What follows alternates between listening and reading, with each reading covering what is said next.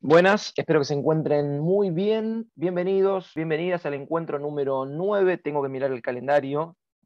Clase 23 de septiembre. Lo tengo que mirar porque esto lo estoy filmando antes, para que ustedes lo puedan ver el 23 de septiembre. Encuentro número 9. Primero vamos a lo que creo que más les está importando, que es el trabajo práctico, cómo va a ser esa devolución del trabajo práctico.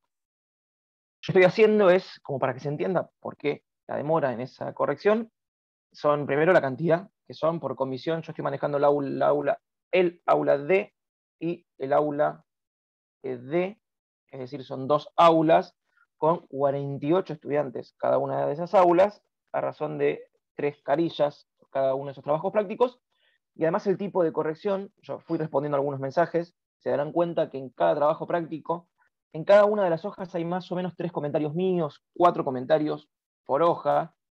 Eh, después, una vez que tenemos ese trabajo práctico, que tengo ese trabajo práctico, pongo un número, un número pondero más o menos, por ejemplo, entre un 7 y un 8, un 8 y un 9, un 9 y un 10. Entonces, entre esa numeración, lo pongo en una planilla, en una agenda, después me comunico con ustedes al correo electrónico que está vinculado al campus, les va a llegar el trabajo práctico con las correcciones. En el caso que me hayan mandado un PDF, se me complica un poquito más, porque tengo que copiarlo, pegarlo y poder intervenir ese, archivo. Y una vez que yo tengo esos comentarios, repito, se los mando a ustedes y en el campus, en la parte de donde estaba el trabajo práctico, donde ustedes subieron y lo adjuntaron, ahí van a poder ver la calificación. Es decir, ahí van a recibir el numerito y en su correo electrónico van a recibir un archivo Word, que es un nuevo archivo, que es el trabajo práctico de ustedes, con mis intervenciones. Eso lleva tiempo, porque tengo que buscar uno por uno, una por una, y hacerle esos comentarios, buscar el correo, enviar el correo. Yo ya tengo todas las correcciones hechas, estoy mandando los trabajos prácticos a cada uno de ustedes. Supongo que para el sábado, a más tardar, ya todos y todas van a recibir esos trabajos prácticos con esas correcciones. Es decir, si para el sábado, si para el domingo no recibieron el trabajo práctico, no recibieron, no recibieron una nota numérica, me mandan un mensaje me avisan, entonces me pongo en contacto con ustedes. Pero por eso mismo, es 22 del 9, si para el sábado 25, que yo supongo que en dos días más o menos ya les estoy mandando mensajes a todos, repito, ya la corrección está hecha, simplemente estoy mandando uno por uno, una por una, así como en el campus. Habrán visto que las intervenciones de ustedes en los foros tuvieron una respuesta, no vieron la de los otros, porque lo hice de forma privada, pero me tomé el trabajo de uno por uno, una por una. Si para el viernes, para el sábado 25, es decir, este sábado no reciben ninguna devolución mía, quiere decir que se traspapeló el trabajo práctico, que quizá no lo hayan enviado, entonces ahí se ponen en contacto. Pero repito, hasta el 25, faltan tres días, todos van a ir recibiendo y todas esos trabajos prácticos con las devoluciones. ¿Cómo van a hacer esas devoluciones? Van a ver que en ese archivo Word van a encontrar un nombre, usé la computadora de mi hijo, se me rompió la computadora mía, eh, estoy usando otra computadora, y en la computadora van a ver que el nombre no dice Lucas Silva, dice Coco. Entonces, si ven una intervención al costadito de un Coco, saben que soy yo que está interviniendo sobre sus trabajos prácticos. Eh, la intervención se darán cuenta que por una cuestión de si son tres o cuatro intervenciones por hoja, cada trabajo tiene tres o cuatro carillas, y son 100 estudiantes, eh, me va a llevar mucho tiempo hacer muchas devoluciones, entonces comento bien, perfecto. Son devoluciones un tanto secas, pero en el sentido de para, ustedes, para que ustedes tengan la seguridad y la certeza de que he leído esos trabajos.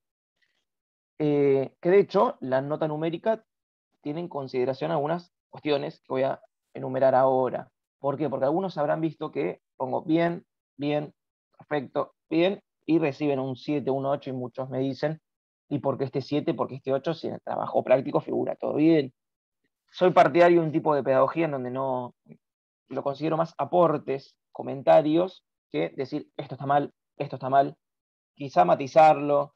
lo único que puse, por ejemplo, que estaba mal es en copias, copias textuales, que puse, esto es una copia de Tedesco, esto es una copia de Barrancos. Si lo van a sacar, lo entrecomillan, si no lo entrecomillan, cuenta como copia. En casos extremos, si son afirmaciones de ustedes, me parece un tanto violento de mi parte poner no erróneo, está mal, excepto en los datos algunas veces de tipo históricos, en donde confunde quizá la batalla de Cepeda con la batalla de Caseros, pero no hace al trabajo práctico igual. Por eso, porque quizá reciban todos comentarios positivos de mi parte y después ven un 8, un 7 y dicen, y yo quería el 10. Bueno, igual son docentes, así que saben de estas cuestiones. Eh, que por otro lado, cuando pondré la nota, la nota numérica que ustedes reciban, van a ver que si es un 8, yo cuando lo tengo en mi agenda era posible 7 y posible 8. ¿Por qué? Porque estoy dudando de si en verdad tiene que ser un 7 o un 8, termino siempre decidiéndome por ese 8. Si es un posible 9, posible 10, me decido por el 10, si es un posible 5, posible 6, me defino siempre por la nota más alta, me decido por la nota más alta. Entonces, si me vienen a hacer un comentario o algo, yo les, digo, fíjate, porque en realidad yo tuve esas dos opciones y decidí que quede esa nota más alta. Por eso. Esa es otra de las cuestiones. Eh, ¿Cómo ven los comentarios? Porque a veces ven un comentario del costadito y no saben a qué parte del párrafo estoy haciendo referencia. Apoyan simplemente el cursor del mouse sobre el comentario, sobre la parte que dice Coco y el bien, el perfecto, y se van a dar cuenta que los redirecciona una línea naranja a ese párrafo al que estoy haciendo alusión. Eh, después hay unas cuestiones que yo noté eh, de muchos, para, en líneas generales, ¿no? para hacer devoluciones generales acá en esta clase, que tiene que ver con, eh, muchos y muchas me iban hablando de, una de la metáfora de cruzar el océano, de cómo estas ideas, el iluminismo, el romanticismo, llegan tarde a Latinoamérica y es porque tiene que cruzar el océano. Cuando nosotros utilizamos esta metáfora en clase, yo dije, porque tienen que cruzar el océano, claramente hacíamos alusión no al viaje en barco, de que van a tardar tres meses en llegar al otro lado del Océano Atlántico, sino que son ideas que surgen en otro continente, tienen que gestarse allí, tienen que dominar el ámbito universitario de las universidades, de las academias europeas, para poder finalmente llegar a Latinoamérica. Por eso se produce un arribo tardío. La idea, la alusión, la metáfora de cruzar el Océano Atlántico simplemente es eso. Digo porque lo vi en muchos trabajos prácticos y quería hacer ese comentario. Eh, ¿Qué se va a tomar? ¿Qué se tiene en cuenta en el trabajo práctico? Digamos, además de las consignas que, que fuimos enumerando, si siguieron esas consignas, básicamente el trabajo va a estar aprobado tiene que ver con algunos grandes ejes, algunos grandes lineamientos que estuvimos charlando en la materia. Uno es el del iluminismo. Vimos iluminismo y emancipación, que no es lo mismo, eran distintos capítulos dentro de Gregorio Weinberg, y a mí me, gustaron los trabajos en donde se detienen en eso. Se detienen en la cuestión del iluminismo y en la cuestión de la emancipación, de este nuevo tipo de pensamiento. Por otro lado, otro de, los ejes de la materia me parece que bien puede ser, o bien fue, digamos, el de Sarmiento y Alberdi. Esta discusión en esas famosas cartas que se enviaban en tono bastante insultante, tienen muchas similitudes. Ambos quieren civilizar al americano, en este caso civilizar al argentino, y ambos se paran desde distintas veredas. Uno más desde el plano de la institucionalidad, de la educación, un rol bastante estatal en ese sentido, y el otro, Alberdi, el creador de las bases, libro que inspiró la creación de la Constitución de la República Argentina, 1853, la Constitución, eh, es un poco una educación por las cosas, una educación por el ejemplo de estos inmigrantes, estos europeos del norte, que se presume que van a llegar y llegan claramente otro tipo de inmigrantes. Entonces esa discusión entre Sarmiento y Alberti me parece importante y tenía que estar en el trabajo práctico.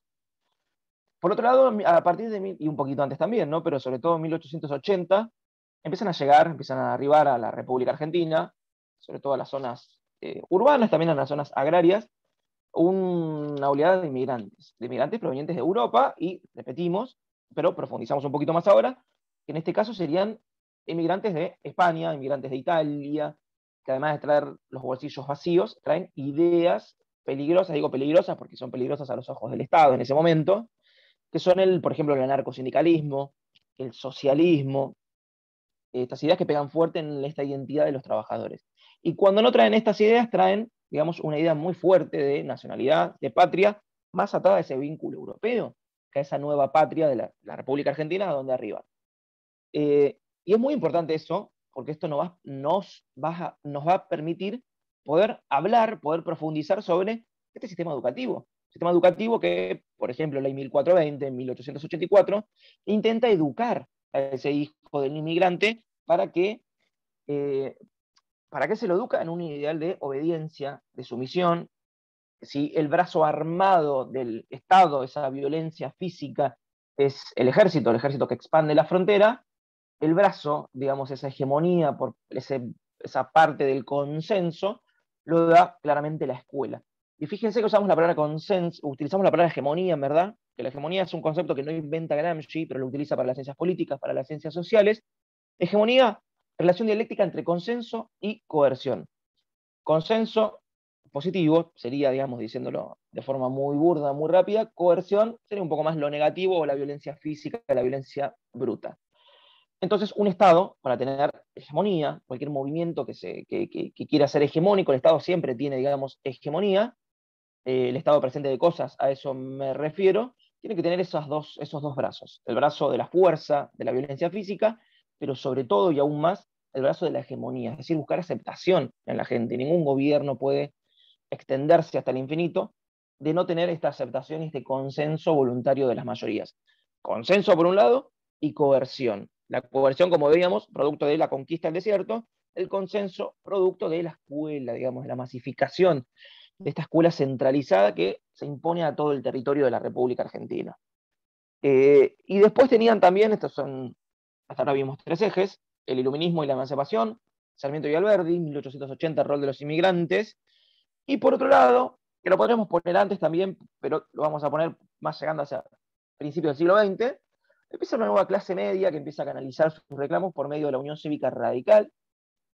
Y claramente ahí juegan un papel importante este, este, este sistema educativo y sobre todo las, transformaciones a este sistema educativo y las reformas a este sistema educativo. Y van a ser más partidarios de las reformas los sectores conservadores y menos partidarios de las reformas estos nuevos sectores que quieren llegar al poder. Y, eso por suerte lo pusieron en el trabajo bien, eh, en donde se ve esa cuestión que pareciera ser paradójica, pero se explica en el sentido de que esta escuela, la escuela tradicional al menos, busca forjar, formar una élite dirigente. Al buscar forjar esa dirigente, claramente va a bloquear ese acceso al poder de estos nuevos grupos y va a crear una nueva escuela. Entonces la reforma tiene ese sentido. Una reforma que no es la reforma universitaria. Falta todavía para la segunda, para finales, digamos, de, de entre la primera y la segunda década del siglo XX, 1918-1919, pero lo quise mencionar porque lo van a ver en un nuevo trabajito que van a tener. Entonces simplemente es eso. Si ustedes pusieron esas cuatro cosas, el trabajo claramente va a estar aprobado, el trabajo práctico. Si no pusieron esas cuatro cosas, van a ver un comentario mío en donde eh, voy en el sentido de falta algo sobre Sarmiento, falta algo sobre Alberdi, y, en la mayoría de los casos fue una cuestión de, no sé si de poco, poca lectura de la bibliografía, o nula lectura de la bibliografía, porque uno me podría argumentar, y bueno, son tres carillas, tres carillas no puedo poner todo lo que acabas de mencionar en profundidad, pero pasó en trabajos prácticos donde eran dos carillas, dos carillas y media, entonces se podía haber profundizado un poquito más. No es que eran cuatro carillas, cuatro carillas y media, y bueno, claramente sí se iban a ir. Eh, o hablaban de cuestiones, por ejemplo, como las invasiones inglesas, procesos meramente históricos, histórico-políticos, eh, y perdían párrafos en ese sentido en poder hablar de lo realmente enriquecedor, el debate entre Sarmiento y Alberdi, iluminismo, algo de positivismo, por ejemplo, eh, esta diferencia entre conservadores y radicales en términos de una reforma educativa. Entonces se podía, digamos, haber sacado jugo por ese lado. Eh, y no tanto desde lo, repito, desde lo histórico-político. Y uno me dice, esta materia es historia de la educación argentina y latinoamericana, pero cuando nosotros damos un encuadre histórico, iba a decir historiográfico, cuando uno da un encuadre histórico, es para que ustedes se ubiquen cronológicamente, para que se ubiquen en tiempo y en espacio. Cuando hablamos de las, eh, de las reformas borbónicas, verán que no hubo preguntas sobre las reformas borbónicas. Es para saber en qué momento estamos hablando. Por ejemplo, cuando termine esta aplicación del trabajo práctico, voy a hacer una breve introducción sobre los años que van del 55 hasta el 60, por ejemplo, hasta el 62, 64, para dar cuenta de qué momento, en qué momento estamos eh, hablando, en qué momento se ubican los historiadores. Eh, básicamente es para eso, no porque ustedes tengan que en el trabajo práctico profundizar sobre, por ejemplo, en el próximo trabajo práctico, sobre el bombardeo a Plaza de Mayo, 16 de junio de 1955. Es un hecho que a mí me apasiona, no es que me guste ese hecho en sí mismo, sino entenderlo, explicarlo historiográficamente. Entonces, sirve, pero cuando vemos historia de la educación argentina y latinoamericana, centrarse en estos proyectos educativos, no tanto en, en esta institución a Perón, que de hecho van a ver que cuando yo mando un archivo Word o PDF de la clase, va mucho sobre lo histórico, pero para que se entienda la bibliografía. Es solamente para eso. Simplemente es para que ustedes al momento de leer y aparezca Frondizi, como pasa en la, bibliografía que tienen para leer hoy, Frondizi, Perón, Lonardi, Aramburu, seguramente quienes no sean profesores de historia van a decir, ¿y quiénes son las personas? Bueno, simplemente es para eso, para ubicarnos cronológicamente. Eh, así que bueno, sin más, esa fue la parte del trabajo práctico, espero no haberlos aburrido. Eh, pero ah, bueno, había que charlar un poquito de, eso. Eh, estoy viendo algunos comentarios. que había notado eso, ¿no? A lo histórico no darle mucha importancia, o sí, pero que nos permita explicar estas cuestiones educativas. la educación laica, que uno de los comentarios también iba en ese sentido, ¿no? Algo central también, y sobre todo para que se entienda esta nueva clase de hoy, es la educación laica. Cuando hablamos de educación laica, básicamente es esta educación que encara el Estado y que se desvincula, se separa de esta cuestión educativa en términos de la Iglesia Católica.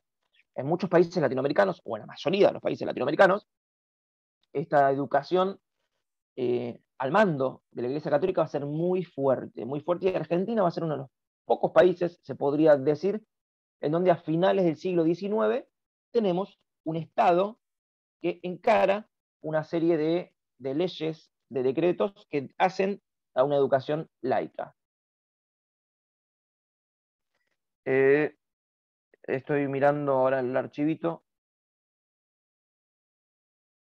Eh, había pausado también un poco la grabación porque había escuchado ruidos acá en casa y no sabía si le había pasado algo a mi hijo. Entonces por eso pausé un poquito.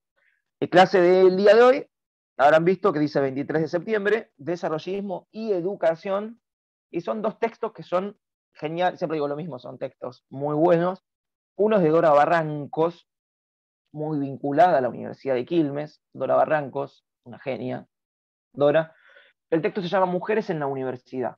Está dentro de Mujeres en la Sociedad Argentina, una historia de cinco siglos, que ya teníamos un fragmento eh, de de ese librito, y acá lo que vamos a hacer es trabajar sobre mujeres en la universidad.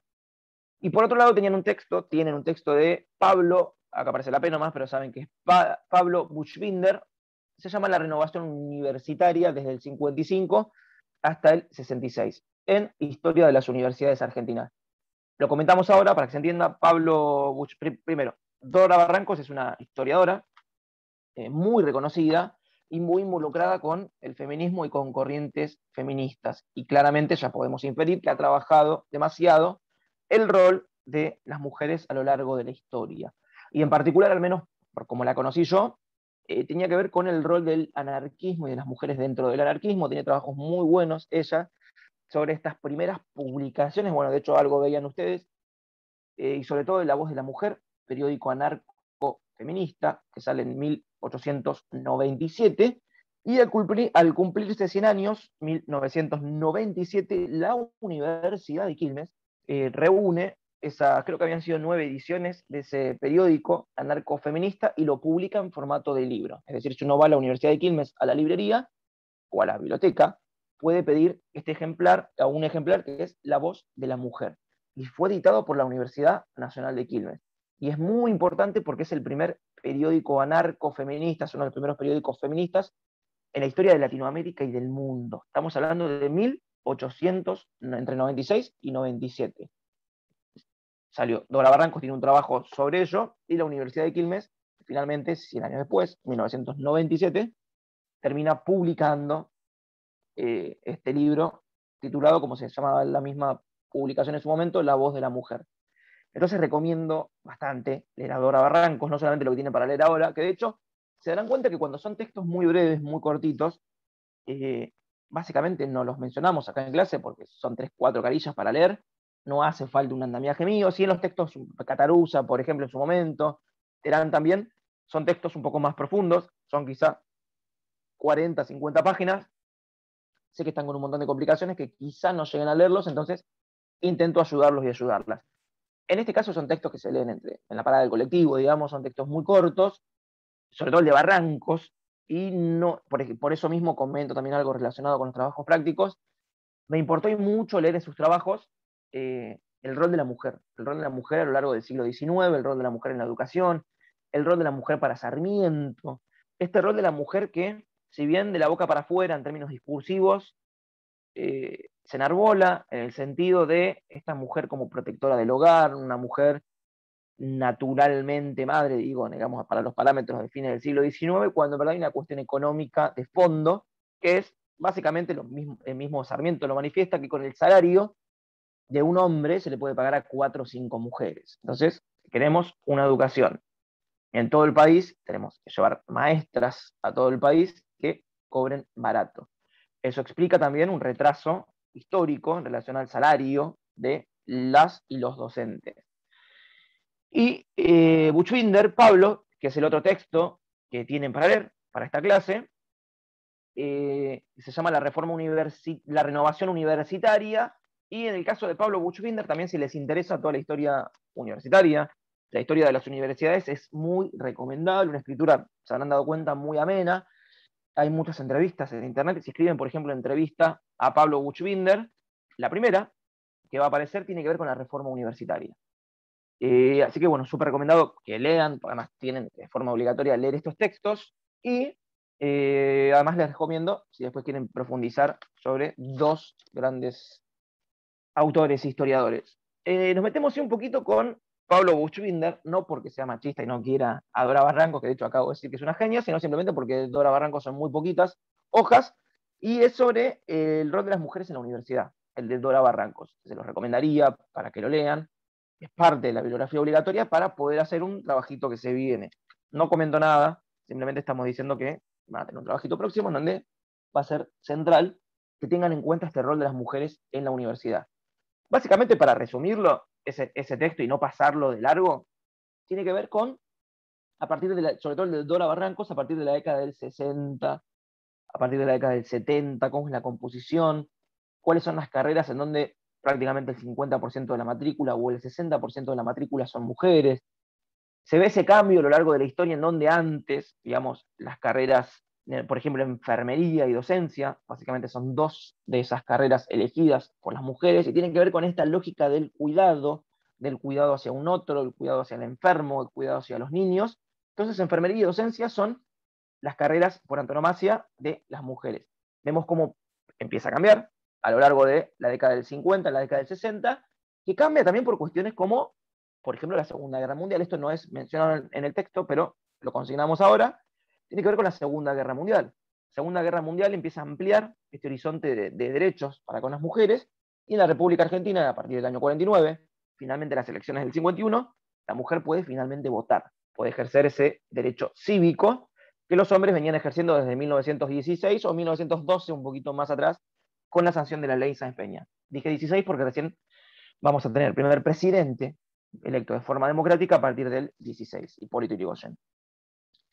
Eh, el texto de Dora Barrancos va en ese sentido, cómo se amplían los horizontes eh, de las carreras universitarias para las mujeres. Lo analiza en términos de matrículas, en términos de docentes, en términos de posibilidades universitarias, en términos de profesionalización. Eh, Así que bueno, tienen que simplemente leer ese texto. Y también tienen que leer a Buchbinder, que de Buchbinder sí me quiero tener un poquito más, por una cuestión más de tipo, que lo van a ver en el, archivo, de tipo histórico, histórico político. Eh, con esto de más o menos encuadrar y entender desde dónde estamos hablando. Eh, la clase pasada habrán visto que se titulaba Educación durante el peronismo. Básicamente, cuando hablamos de educación durante el peronismo, hablo más lento porque está la parte por ahí donde están tomando nota. Lo anterior fue cháchara y uno dice, bueno, quiero ahora tomar apuntes. Cuando hablamos de educación durante el peronismo es desde el 43 hasta el 55. Y uno me puede decir, no, profe, estás equivocando. Perón es presidente en el 46. La influencia de Perón dentro de estas esferas del gobierno se da mucho antes, mucho atrás en el tiempo. Incluso Perón es parte del golpe del 30, pero lo mencionamos a partir del 43 porque él es parte activa de ese golpe del 4 de junio, y empieza a ocupar puestos importantes, eso lo veíamos en la clase pasada, va a ser el vicepresidente, va a ser el, el, ministro de guerra, y va a ser también secretario de Trabajo y Previsión, lo va a convertir en, primero va a ser un departamento, después lo convierte en secretaría, y después se convierte finalmente en ministerio. y después se convierte finalmente en presidente. En octubre del 45 se encuentra prisionero, preso en la isla Martín García. Esa isla estaba controlada por la Marina de Guerra, digamos, enemiga tradicional de Perón. Perón alega sentirse mal, estar enfermo, lo trasladan al hospital militar. Sus partidarios, los simpatizantes de Perón, se enteran de eso y espontáneamente se reúnen en Plaza de Mayo, también se reúnen en La Plata, pero los hechos más conocidos, los que pasaron a la, historia, tienen que ver con los que se producen en Plaza de Mayo, un día que pasó a la historia, como el Día de la Lealtad, 17 de octubre del 45, básicamente para calmar a la multitud una plaza, Perón tiene que ser llevado hacia allí, Perón habla, y cuatro meses después se convierte en presidente de la nación. Entonces, del 46 al 55 tenemos básicamente lo que denominamos educación durante el peronismo. Tenían tres textos ahí, a Pinó, a Cataruza y a Carly. Y lo que tenemos ahora es desarrollismo y educación, es claramente lo que viene después del peronismo. ¿Cómo es desalojado el peronismo en el poder, del poder? 1955, estos ya son datos estrictamente históricos. Hace falta que lo, que lo anoten, lo que tomen nota, simplemente para no perdernos, para no perderse, pero eh, repito, en términos de trabajo práctico, por ahí no hace falta que sean tan puntillosos, puntillosas con estos datos. 1900 siempre tema que me apasiona a mí, de hecho mi tesis de licenciatura en su momento, para recibirme de historiador, fue eh, los años que van del 55 al 69, el tema del doctorado está siendo precisamente ese, sindicalismo y clase obrera del 55 al 69, y mi tesis en su momento había sido sobre el plan de lucha de la CGT año 1964. Esos son temas que me apasionan, así que perdón si me voy de tema. 1955 eh, el peronismo ya en su segundo gobierno, se luego de la muerte de Eva, 26 de julio del 52, se encuentra prácticamente resquebrajándose, empieza a haber, digamos, un aumento en la oposición, en, las demandas, en los reclamos de esa oposición. pero no había tenido como aliados naturales a la Iglesia Católica, veíamos durante el 43, 44, 45, 46, 47 decretos incluso en el sentido de establecer, restablecer la escuela religiosa en las escuelas, y acá retomamos lo que decíamos antes de la educación laica. Seguramente habrán dicho, el profesor se olvidó, dijo que iba a hablar de la educación laica y la dejó ahí. La dejamos ahí precisamente por esto. Tenemos una educación laica que va a ser muy fuerte, laica, desde 1880, o sobre todo en 1884, hasta 1943, 1944.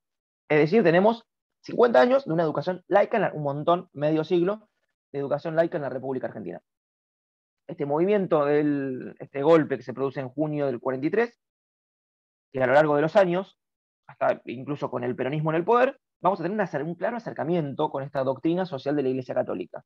Y se, se vuelve a imponer la enseñanza religiosa en los institutos educativos nacionales. Esto es central, es decir, se termina con aquella idea de una educación laica. Y es muy importante, porque de hecho el texto de eh, de va a ir en este sentido, y meterse en esta discusión entre laica o libre que ya vamos a ver. Para el 11 de junio de 1955, Perón en el poder todavía, se produce una celebración del Corpus Christi en Plaza de Mayo, y esta, sobre la catedral, que está en diagonal, y esta celebración adquiere los ribetes, los tonos de una clara manifestación en contra del gobierno.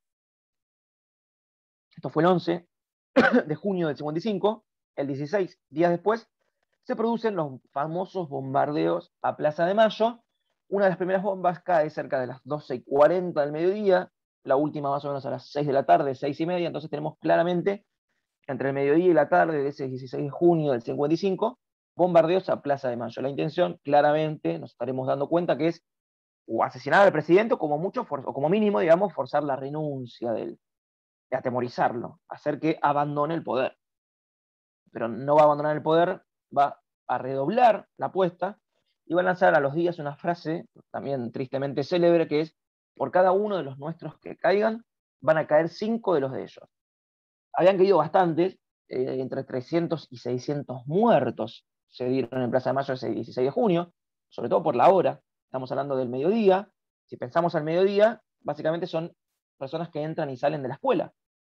Eh, por ejemplo, una de, las bombas impacta de lleno sobre el tranvía 305, asesinando a todos sus ocupantes, de los cuales todos los ocupantes eran mujeres y niños, porque repito, iban o volvían de la escuela. Eh, para dimensionar ¿no? lo que implicó bombardeo a Plaza de Mayo, eh, un 16 de junio del 55 entre el mediodía y las 6 de la tarde. Finalmente los aviones no pueden, digamos, derrotar a las fuerzas. Muchos militantes peronistas de forma improvisada se acercan a la, ciudad, a la Plaza de, Mayo, con la intención de resistir, y los aviones terminan finalmente refugiándose en Uruguay. Eh, la suerte prácticamente estaba echada y a los meses, el 16 de septiembre, es un proceso largo, en realidad es una semana entre el 16 y el 23 de, septiembre, se produce el levantamiento en las principales ciudades de la República Argentina y finalmente Perón es destituido el 23 de septiembre de 1955, es decir, a los meses de esos famosos bombardeos sobre Plaza de Mayo. ¿Quién asume? Asume Lonardi, que va a ser una, especie de, va a ser un presidente interino, va a estar dos meses, ya que en noviembre asume finalmente, quizás sea más conocido por ustedes como, eh, sea más conocido por ustedes, el nuevo presidente que es Aramburu. Aramburu, que en el 70 fue secuestrado y asesinado por la agrupación Montoneros. No nos adelantemos, simplemente quedémonos acá en 1955. Y se le ha preguntado a Perón, se lo ha entrevistado, por qué abandona, digamos, el gobierno, mayor resistencia, al menos en septiembre del 55. Él dice que de hacerlo se sabía, digamos, en una lucha estéril, y sabía que iba a iniciarse un conflicto importante, una guerra civil entre hermanos, y él, al menos es lo que él manifiesta, no quería, digamos, que se produzca ese derramamiento de sangre, así que finalmente abandona el país en donde va a estar 18 años en el exilio. Va a volver finalmente y se convierte en presidente y al año siguiente fallece, 74. Fallece en el 74. Pero bueno, eso es para otra clase. Acá simplemente no quiero marearlos, marearlas. Estamos en este golpe al peronismo, uno de los primeros intentos, o una de las primeras eh, formas que adquiere este golpe es básicamente el de desperonizar a la sociedad. Este proceso de desperonizar a la sociedad claramente hace alusión a un proceso similar que se está viviendo en Alemania, que es el proceso de desnazificación de la sociedad. Lo que se hace con esta terminología es asociar la imagen de Perón con la imagen de un tirano al mejor estilo Hitler, algo que no comparto, no comparten muchos historiadores, pero simplemente nos estamos ubicando en un clima de época. Este intento de desperonizar a la sociedad va a tener un decreto, un famoso decreto que es el 4161, que es la prohibición absoluta del peronismo. No se puede nombrar a Perón, no se puede cantar la marcha peronista, acaban de tocar timbre, ahora vengo, voy a poner en pausa.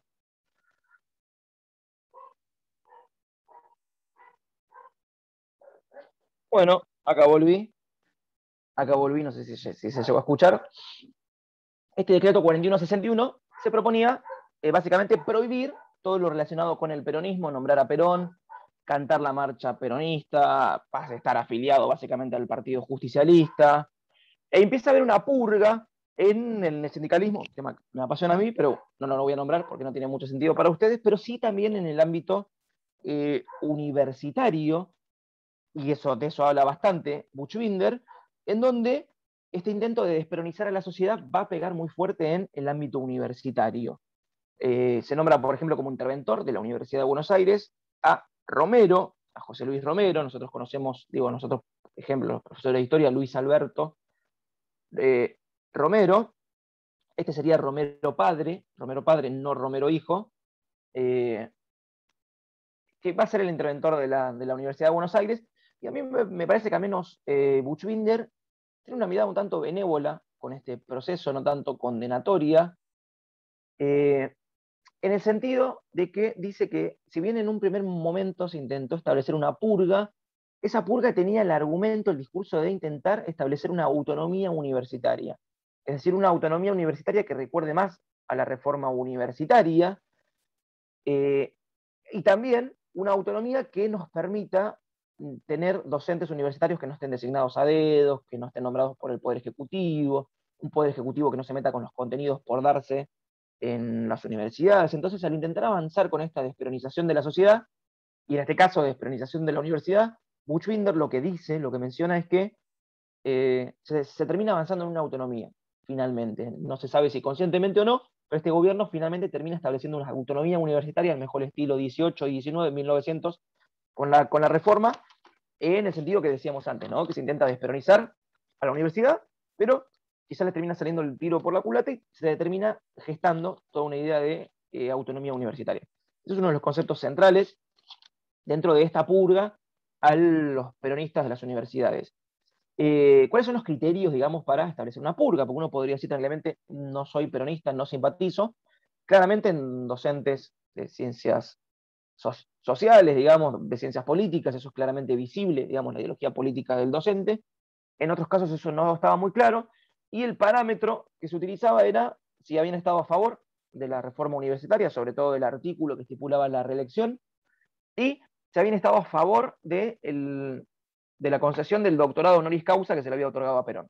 Perón se le había otorgado, en términos universitarios, un doctorado honoris causa, y los docentes que habían estado a favor, entonces claramente podían ser consignados como peronistas, se los apartaba del cargo.